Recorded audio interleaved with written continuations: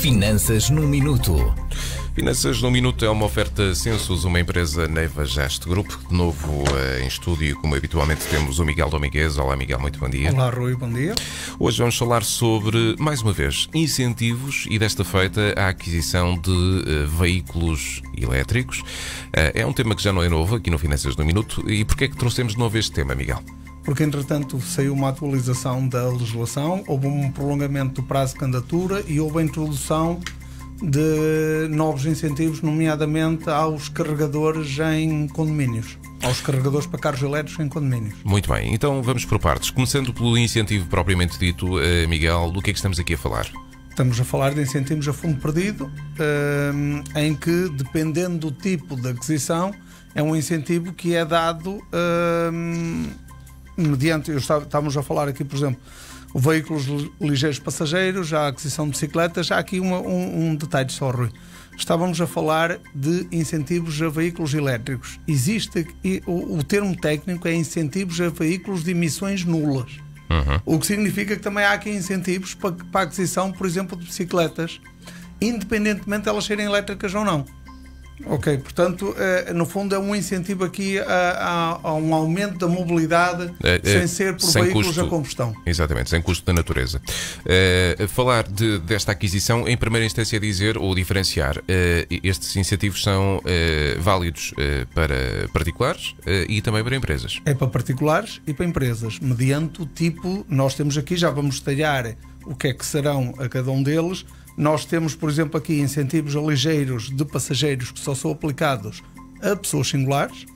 E depois temos uh, incentivos que podem ser aplicados. Nós temos dois tipos: os incentivos só aplicados a pessoas singulares, que é a aquisição de veículos passageiros. Que os veículos passageiros não, não é, o incentivo não é atribuído a empresas. Uhum. E os carregadores elétricos em condomínios também é só para pessoas singulares, não é para empresas, este apoio. Portanto, quem se pode candidatar é só pessoas singulares.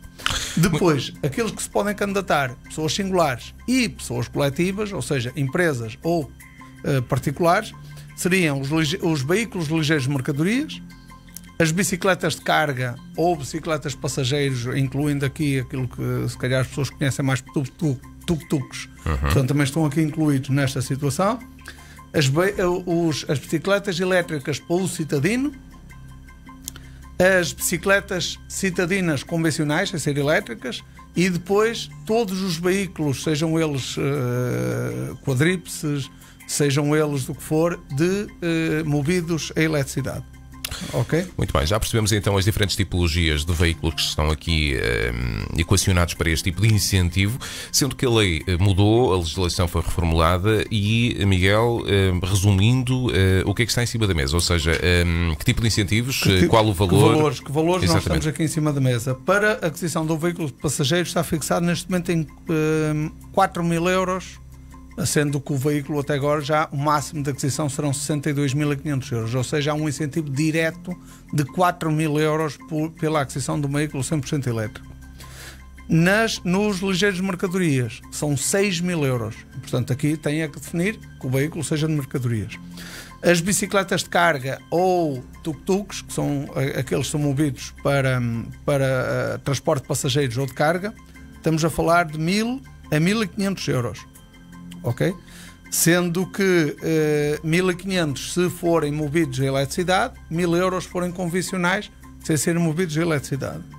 As bicicletas elétricas são 500 euros, o montante do incentivo. Há aqui uma nota que eles introduziram agora uma situação relativamente às bicicletas elétricas que é tem que ter o uso citadino. Eles querem excluir as bicicletas elétricas com uso esportivo. Uhum. E portanto, nós já vamos ver mais à frente uh, como é que eles fazem esta distinção. É que eles, no fundo, vão obrigar o vendedor, na documentação, a emitir uma declaração a dizer que aquela bicicleta é para uso citadino. citadino. Uh, depois temos os motociclos, ciclomotores, triciclos, quadriciclos, etc., de uh, elétricos movidos uh, a eletricidade e são até 50% do, do, do, do montante de aquisição, com o máximo de 500 euros. As bicicletas convencionais são 20% do montante de aquisição até o máximo de 100 euros. Uh, os carregadores elétricos uh, pode ser até ao máximo de um carregador elétrico por lugar de estacionamento no condomínio e são 80% do custo de aquisição até ao máximo de 800 euros, mais 80% do custo de um, instalação até ao máximo de 200 euros. Ou seja, na prática pode, pode chegar aos 1000 euros. Pode chegar aos 1000 euros com esta repartição. Muito bem, portanto já percebemos aqui o valor de incentivos que me parece interessante. Eh, Sim, nomeadamente esta dos carregadores de veículos elétricos. Exatamente, que é fundamental. E que estamos a falar que seja, praticamente é o custo.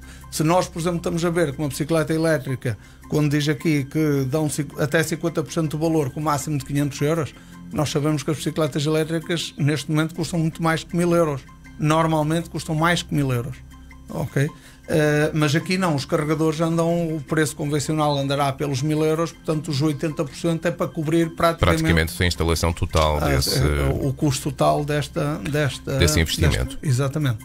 Muito bem, percebemos aqui uh, quais os, os, incentivos que estão em cima da mesa com esta reformulação da lei e são, parece-me, interessantes. Contudo, Há requisitos específicos, eh, Miguel, eh, relativamente hum, a, portanto, à atribuição destes incentivos, nomeadamente a introdução do consumo do veículo uh, ou a instalação do ponto de carregamento na respectiva ligação. Claro, aqui teve, aqui teve duas situações. O primeiro, o conceito, apesar de ser um conceito, um, eu diria que teórico, mas acaba por ter significado, é que este incentivo pressupõe a introdução do veículo em consumo tem que haver mesmo o, a introdução do veículo em consumo. Ou seja, tem que haver a instalação do dito contador. Não, não, estamos a falar dos veículos. Ah, dos veículos, veículos, eles têm que ser introduzidos ao, ao consumo. Uhum. A segunda situação uh, nisto é que, que eu falei já relativamente à questão das bicicletas, por exemplo, tem que haver uma declaração do vendedor a dizer que são de uso citadino. Isto é uma diferença em relação ao anterior. Há os carregamentos elétricos tem que ter o comprovativo de ligar à rede Mobilé, que é uma rede nacional de uh, carregadores elétricos e, portanto, tem ali uns requisitos burocráticos, mas este incentivo só é dado se uh, esse carregador estiver ligado uh, com o comprovativo de ligação à rede uh, Mobilé. Muito bem. Há uma série de documentos que também são importantes, para além desses? É normal que a situação tributária e a segurança social esteja regularizada um, e depois a fatura, que tem que estar a fatura, caso seja veículos tenham chassi, tem que, ter, tem que constar o número de chassi. Caso seja locação financeira, tem que ter um comprovativo de que a locação financeira tem um mínimo de 24 meses. Um, e não tem, além disso, não tem uh, nada de, de, mais relevante. Como é que é submetida esta candidatura, Miguel? É, é submetida é, online. É submetida online diretamente, qualquer utilizador pode, pode fazê-lo de forma relativamente simples ou é mais complexo? Eu diria que não é muito complexo, mas eh, na minha perspectiva convém sempre eh, ter algum apoio na emissão da candidatura porque há aqui alguns pequenos requisitos que são necessários uh, cumprir. E, portanto, basta que um requisito, já falamos nisso anteriormente, que havia não sei quantas candidaturas e não sei quantas candidaturas recusadas, porque os requisitos não estavam todos cumpridos. E, portanto, é importante, quando se faz a candidatura, que os requisitos vão todos cumpridos e, para isso, é preciso que a pessoa tenha um know-how específico para cumprir os requisitos todos. Tenho aqui uma série de questões uh, relevantes que quero colocar ao Miguel relativamente a este incentivo, mas começo por uma que não está na lista e que tem a ver com o prazo. Uh, isto está em vigor. Uh, até 30 de novembro de 2022 ou até a dotação, fim da dotação financeira. Que são 10 milhões de euros. Ainda deve dar para algum Ainda dá, porque os incentivos são relativamente pequenos. Estamos uhum. a falar que o incentivo maior é para, é para veículos de mercadorias e são. São 6 mil euros. São 6 mil euros, portanto, ainda temos aqui muitas um candidaturas. é? É, Muito bem. Ehm, quem é que pode concorrer, ou Miguel, uh, podem concorrer ao, ao, incentivo 2022 os, os veículos elétricos eh, adquiridos, por exemplo, no ano passado, em 2021? Não, não, não. Só uh, o que tem é uma vantagem. Por exemplo, se entretanto uma pessoa já adquiriu esse veículo elétrico este ano, a partir de 1 de janeiro, se tiver uma fatura, por exemplo, do dia 15 de janeiro, pode concorrer agora e isso pode estar incluído. Mas isto só respeita aos veículos adquiridos em, em 2022. Ou seja, quem adquiriu em 2021 já não tem qualquer hipótese Já não tem qualquer hipótese. Mesmo que tenha adquirido, por exemplo, quando esgotou a dotação em 2021, dizer, ah, eu adquiri depois, se eu posso ir buscar para esta. Não tem, não tem hipótese. Só a partir de 2022. A vantagem que tem é que mesmo que já tenha adquirido em 2022, para trás da data 2, nós estamos em abril, portanto tenha adquirido, por exemplo, janeiro, fevereiro ou março, pode incluir essa, essa aquisição no incentivo. Outra das questões uh, tem a ver com o estado do veículo. Isto só serve para veículos novos, novos não é? Exatamente. O que é que é considerado um veículo novo, Miguel? É aquele que não tenha tido uso anterior. Basicamente, que ele tem que ter, por exemplo, aqueles veículos sujeitos a, a registro, que os veículos automóveis, os veículos de mercadorias são sujeitos a registro. Mas mesmo... uma bicicleta, por exemplo, é mais difícil de aferir. Tem que ser na declaração do que do na declaração do vendedor a dizer que está no fundo da fatura tem que vir mencionada que o veículo que é novo. Não pode ser um veículo usado.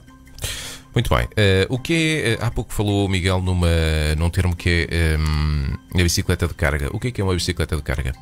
E, apesar de nós aqui não vermos muito isso, uh, ou nomeadamente se calhar aqui nas cidades já se vê alguma coisa disso, são bicicletas que no fundo têm atrás um espaço para fazer carga. Isto é lá, lá fora já se vê uh, bastantes, uh, bastantes veículos deste género e no fundo isto é para incentivar aqui, aqueles trajetos curtos, nomeadamente às, às vezes até alguns estafetas ou para levar algumas situações dentro das cidades e no fundo isto é um incentivo, é aquela bicicleta que atrás tem um espaço para levar carga. Ou também aqui incluído aqueles, uh, aqueles veículos para levar passageiros e que sejam bicicletas para levar passageiros, até mesmo há tuk-tuks são movidos uh, a motor, há tuk-tuks são movidos a, a, pedais, a, pedais, e portanto dentro disso, por exemplo, um tuk-tuk movido a pedais é um veículo de passageiros que também está incluído aqui.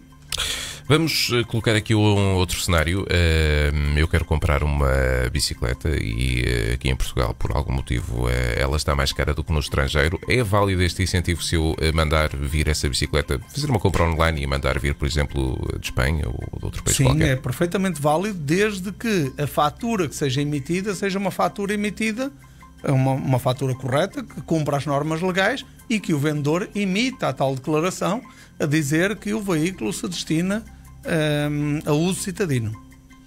E por fim, eh, para candidatar eh, ao incentivo eh, dos carregadores para, para veículos elétricos em condomínios multifamiliares com ligação à, à dita rede Mobie, é necessário ser proprietário de um veículo elétrico? Não, Miguel? não é preciso ser proprietário de um veículo elétrico.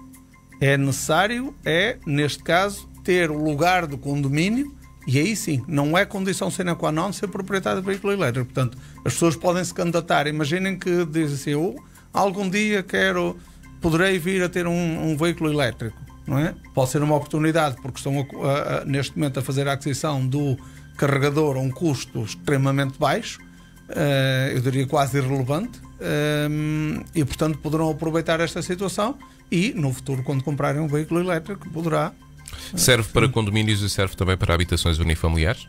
A, a definição é para uh, condomínios. condomínios. Ok, multifamiliares. Muito bem. Ficamos com mais um incentivo que vale a pena aproveitar e parece-me parecem-me valores interessantes e uma oportunidade para regenerarmos eh, a nossa fonte de energética lá de casa eh, da mobilidade eh, sem combustão.